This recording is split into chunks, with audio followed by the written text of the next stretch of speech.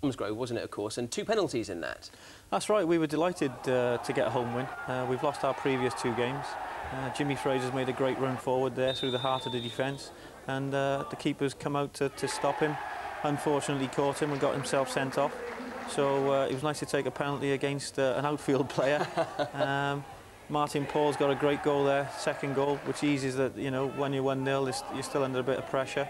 And obviously the, the you know, the second penalty Just there. inside the area, wasn't it? It was, yeah. I mean, the referees made the right decision. Um, you know, some of their players were up in arms about it, but uh, and I was pleased to see Martin Paul get his second uh, second goal of the game. Mm, just, just, just briefly though, Paul, how are you enjoying life at Bath? It's great. I'm thoroughly enjoying it. You know, I was very thankful for the opportunity, and uh, I've signed a two-year contract, and uh, hopefully I'll see it out. Well, that's all for today.